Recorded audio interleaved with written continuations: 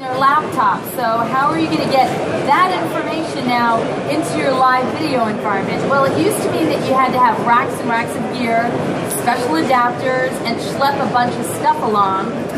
So we got rid of all of that. If you notice here, this is our cool feature. Superpower number 33 network video inputs. So if you look at the Vision Mixer in the center of the interface, you can see that two of the inputs are called Network 1 and Network 2. So when you plug in an Ethernet cable to the back of your TriCaster system and you connect yourself to the network, whatever computer that is on that network, whether it's a Mac or a PC, desktop, laptop, doesn't matter, whatever is on those can now be brought right into your live show. So you better be careful what you have on those computers, right?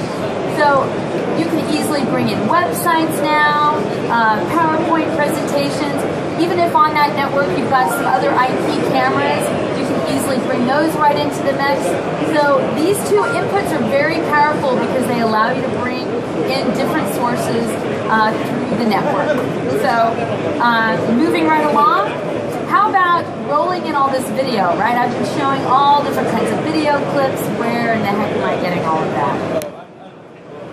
Superpower number 12. Multi